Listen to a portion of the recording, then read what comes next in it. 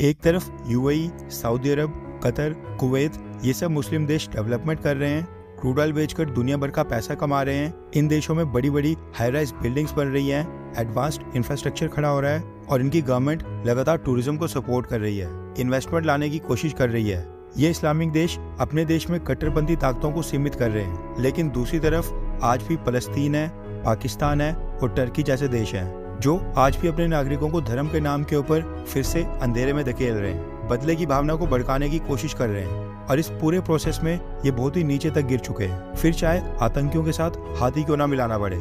BBC के साथ अल जजीरा भी एक ऐसा इंटरनेशनल मीडिया हाउस है जो भारत को लेकर लगातार जहर उगलता रहता है। Al Jazeera Qatar based news channel है और आपने देखा होगा कि इनके रिपोर्टर्स हमेशा ही भारत की आलोचना करते हैं। जम्मू कश्मीर का मुद्दा हो, राम मंदिर उद्घाटन हो, या फिर फार्मर्स लॉ हो, या फिर भारत की मुस्लिम माइनॉरिटी से जुड़ा भारत का कोई मुद्दा हो। अल जजीरा की तरफ़ से भारत को लेकर हमेशा ही नेगेटिव रिपोर्टिंग की जाती है। प्रधानमंत्री मोदी को anti Muslim Hindu nationalist leader के रूप में प्रोजेक्ट किया जाता है। भारतीय जनता पार्टी यानी बीजेपी को टारगेट किया जाता है। अब जो ये अल जजीरा है, ये न सिर्फ़ भारत को लेकर ऐसी रिपोर्टिंग करता है, बल्कि ये मीडिया हाउस इसराइल के बारे में भी यही सब रिपोर्ट करता है। इसराइल के प्रधानमंत्री बेंजामिन नेतन्याहू को भी पीएम मोदी की तरह बुरा भला कहा जाता है और सेम मुस्लिम उम्मा के नाम के ऊपर इसराइल पर भी झूठे आरोप लगाए जाते हैं। फेक प्रोपेगेंडा फैलाया जाता है। यानी ये कहना गलत नहीं होगा कि भारत और इसराइल अल जजीरा के दुनिया में सबसे बड़े विक्टिम्स हैं। मुस्लिम वर्ल्ड में अल जजीरा काफ़ी पॉपुलर है ऐसे में अल जजीरा के फेक प्रोपेगेंडा के कारण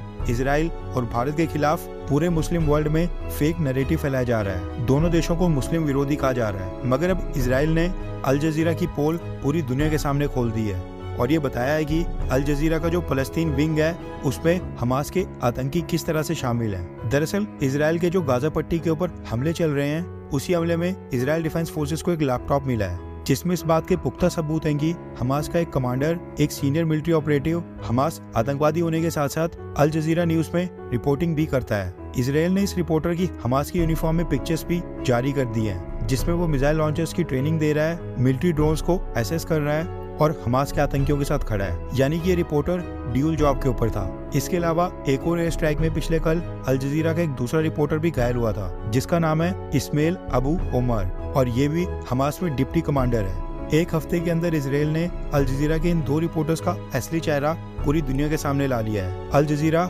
हमास के आतंकियों को जॉब्स देकर किस तरह से उनको सपोर्ट करता है? अभी और न जाने कितने रिपोर्टर्स, कैमरामैन और स्टाफ ऐसा होगा जो अल जजीरा के साथ साथ हमास का आतंकी भी होगा। ये वही रिपोर्टर्स हैं जो धर्म के नाम के ऊपर पूरी दुनिया को गुमराह करने की कोशिश करते हैं और भारत और इसराइल को टारगेट करते हैं। 2002 गुजरात दंगों को लेकर आज भी बीबीसी और अल जजीरा प्रधानमंत्री मोदी को दोषी ठहराते हैं। आई होप कि आप अल जजीरा को फॉलो ना करते हो, क्योंकि इनकी रिपोर्ट्स पूरी तरह से फेक होती हैं और उनमें बस एक प्रोपेगेंडा चलाया जाता है।